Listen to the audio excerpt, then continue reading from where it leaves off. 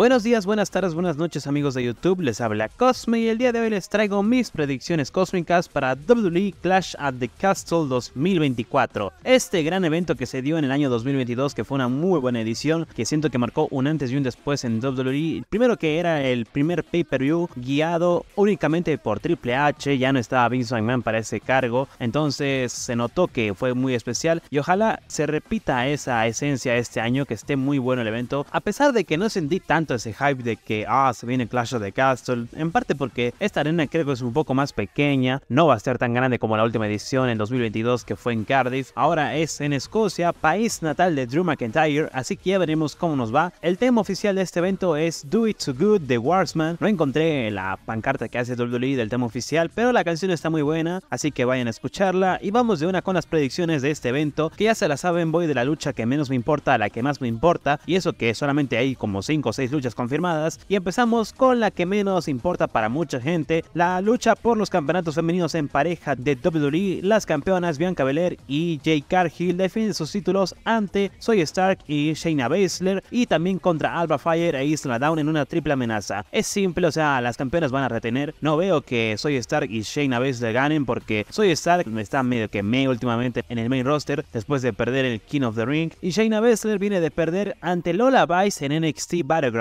que por cierto, qué buen show que fue el de Battleground. No fue la gran cosa, así de que, bueno, revendemos todo el estadio y todo. No, no es un evento de 10 tampoco, o sea, es un evento disfrutable, simple. Pero bueno, de ahí viene Shayna Baszler de perder. Y Alba Fire y Isla Down son británicas, se puede decir que son las más locales y por eso están en esta lucha. Aunque me gustaban más también Isla Down cuando se llevaban mal, o sea, cuando llegó Isla Down a NXT y quería enfrentarse de una a Alba Fire, que para entonces creo que todavía tenía el nombre de Kylie Ray, que en ese momento fue, o sea, si Kylie Ray seguía llamando así, denle el título de una. Alba Fire e Isla Down no queda tan bien como Kylie Ray e Isla Down. El Isla Down está muy tranqui. Y en cuanto a la predicción, la verdad que estoy un poco alegre, así que me voy a guiar por lo que me gusta. O sea, voy a predecir que van a ganar los que me gustan de cada lucha. Y aquí, pues Bianca Belair y Jay Cargill me dan igual. Soy Stark y Shayna Baszler también me dan igual. Las que más me caen bien son Alba Fire e Isla Down, así que vamos con ellas de una. Mi predicción de esta lucha, ganadoras y nuevas campeonas femeninas en pareja, Alba Fire e Isla Down capaz que no le dan, pero igual, o sea, estas predicciones son más un juego, más que nada, así que disfrútenlo, está muy chulo hacer estas cosas. Y vamos con la siguiente lucha, lucha por el campeonato femenino de WWE, la campeona Bailey define su campeonato ante Piper Niver, que va a estar acompañada de Chelsea Green, simple, o sea, Bailey va a ganar, pero yo me apuesto por los que me gustan más de esta match card, así que predicción de esta lucha así rapidito para pasar a lo siguiente, ganadora y nueva campeona femenina de WWE, Piper Niver. Ella sí creo que es de Escocia, así que dale su momento, Triple H, o sea, están con su gente. Imagínate, boludo, antes el ser local te daba un poder increíble para ganar luchas. Ojalá se aplique esa lógica y Piper Niver esté con un ki sumamente bajo, pero cuando llega a su tierra, ¡pum! explota los Saiyajin todo su ki y así gana el campeonato. Porque últimamente el local como que no le está dando tanto poder a la gente. Simplemente lo que vende ya le dan el campeonato, lo que vende gana la lucha. No, antes era vos ibas a tu tierra, ¡pum! ganabas sí o sí cualquier combate. Ojalá se aplique esa lógica aquí. Ahora sí, siguiente lucha de la noche, lucha por el campeonato intercontinental de WWE. El campeón Sami Zayn defiende su título ante Chad Gable. Una lucha que determinaría si Chad Gable sigue con los de Alpha Academy o se mete con los Creed Brothers. Porque mira que hay mucho rumor de que Chad Gable quiere formar su propio equipo a lo Kurt Angle con los Creed Brothers, que son atléticos, estos chicos de NXT que llegaron muy pronto, sinceramente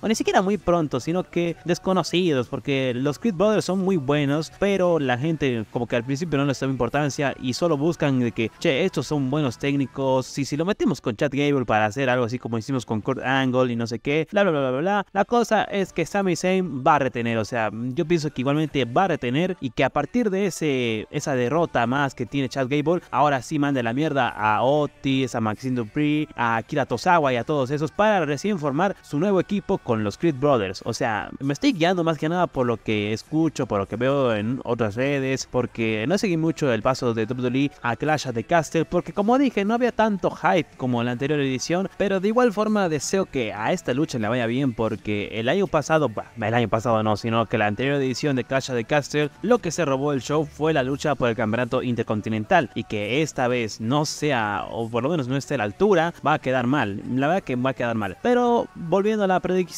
no sé, o sea, tampoco es que me caiga mal Sami Zayn o Chad Gable, pero es que el título en sí ya no me interesa tanto. O sea, si Sami Zayn le pone pilas, se deja hacer esas boludeces de creerse de que la gente va a querer siempre todo lo que hace, que lo dejen de vender como el underdog que ahora es dominante, toda esa cosa, no me gusta tanto. Eh, Chad Gable también, o sea, no me gusta que esté con Alpha Academy, o no me gusta que lo hagan ver muy boludo ante el Alpha Academy y el conflicto que tiene con Sami Zayn. Eh, no sé cómo explicarme esto porque lo estoy pasando muy por arriba y capaz lo entre a profundidad ya en la narración de la reseña cósmica. Bueno, si llego a hacer la reseña cósmica de Clash of the Castle. Pero dentro de todo, aquí voy a poner de que Chad Gable va a ganar este título porque me agrada un poco más que Sami Zayn. Eh, más que nada la historia que yo quería ver siempre fuera de Gunther vs Chad Gable por este título. Así que ya es momento, o sea, denle el título a Chad Gable y que tenga, no sé, que Sami Zayn ya vaya por otra cosa, que ni siquiera vaya otra cosa, que esté tranqui, un cacho, o sea, deja a Sami Zayn, calma un poco. Y bueno, predicción de esta lucha, nuevo campeón intercontinental, Chad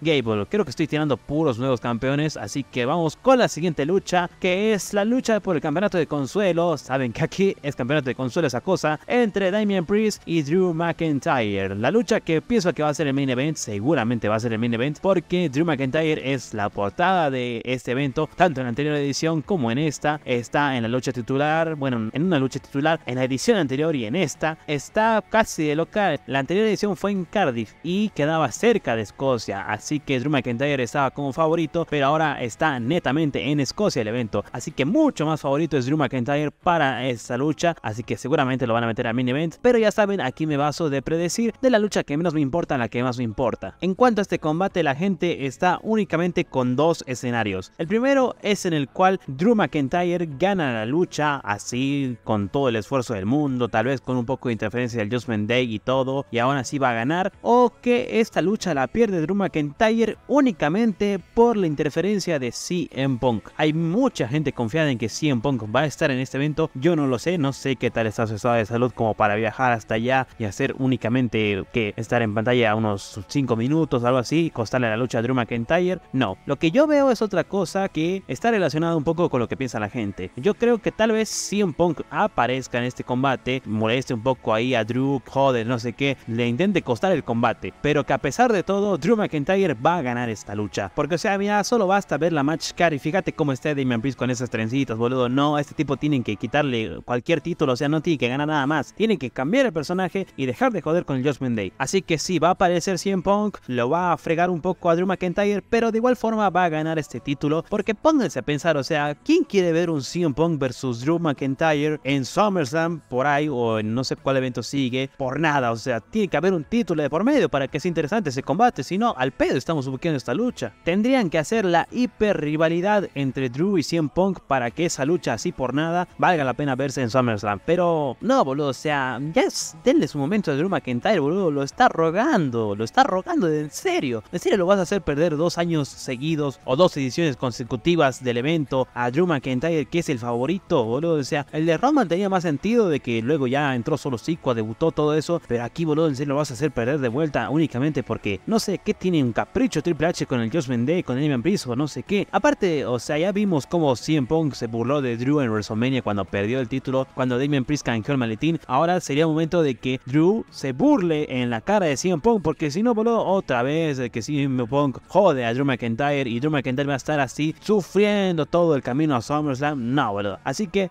predicción de esta lucha, ganador con toda la interferencia del mundo y nuevo campeón de consuelo, Drew McIntyre. Así cerrando el evento de buena forma para la gente que fue a pagar, porque seguramente mucha gente va a ese evento únicamente por Drew McIntyre, ya que al propio Drew lo resaltaron al Salón de la Fama de la Lucha Libre en Escocia, o sea, más popular que eso no puede haber. Así que bueno, cerramos con la última lucha, combate por el campeonato universal indiscutido de la WWE. El campeón Cody Rhodes defiende su título ante el fenomenal AJ Styles en un I Quit match. No sé de dónde salió el I Quit, eh, me perdí un poco con la rivalidad de Cody y AJ Styles. Eso sí, me encantó el combate que tuvieron en Backlash, que posiblemente le haga un video de highlights. Y también me encantó cómo recibió el público de Francia a AJ Styles. Ojalá se repita en esta ocasión y que ojalá, ojalá la palabra que describe este combate es ojalá y AJ Styles gane. No tanto porque queramos ver a Cody perder, sino que, boludo, AJ Styles, o sea, AJ Styles campeón, ¿quién no quiere eso? Pero la verdad que lo veo muy difícil porque el reinado de Cody está siendo bueno, me dio una gran sorpresa la lucha que tuvo con Logan Paul y también la de AJ Styles, o sea, tiene combates muy buenos hasta el momento. Capaz que, o sea, el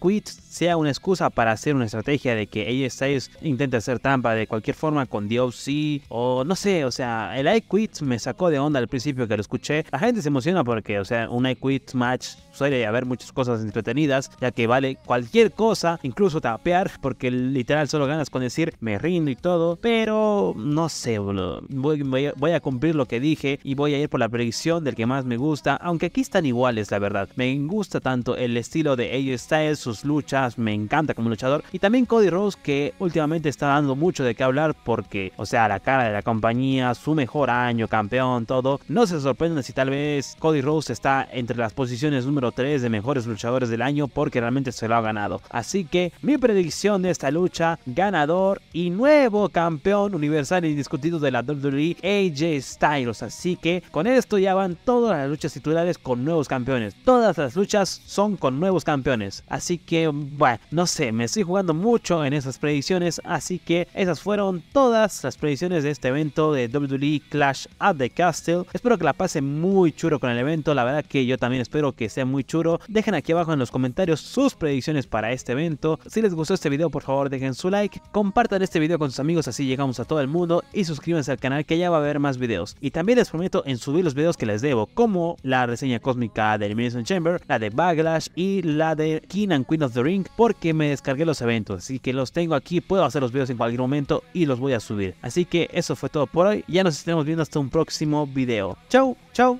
chau.